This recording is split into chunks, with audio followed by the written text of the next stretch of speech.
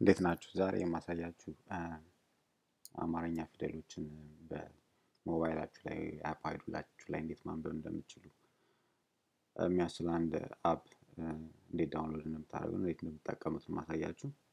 እንደምታዩት አማርኛ ፊደሎችን iPhone ላይ ማየት አልቻልኩም።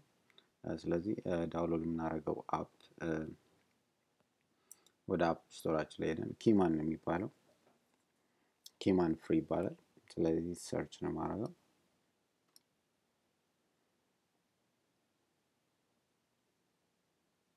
Keyman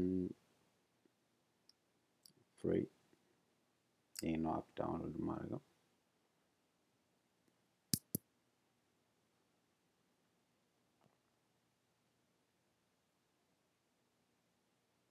app ኡ download አድርጎ ጨርሷል።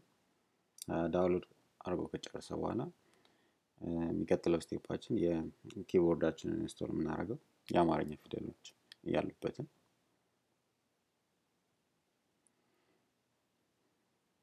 keyboard እንመርጣለን። ማድረግ download ከዛ install እንለዋለን። እዚህ ጋር ትንሽ shaky ነገር ነው። ሶስት አራት ይጠይቀናል download ለማድረግ so እንደገና እለዋለሁ። passcode ይጠይቃል። so install እንለዋለን።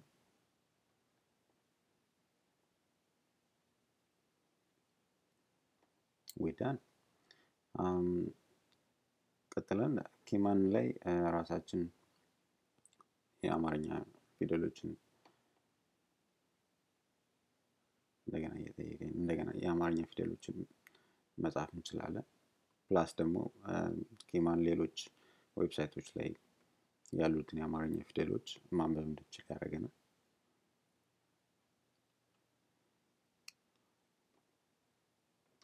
እንዳልኳችሁ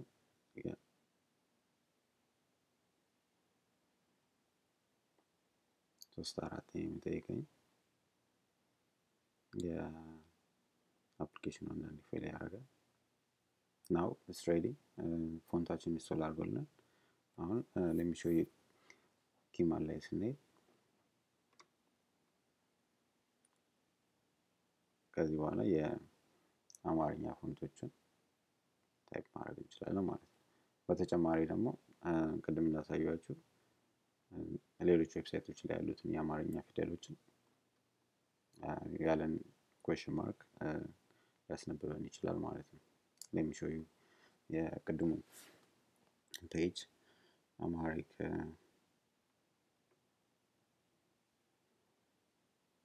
Amharic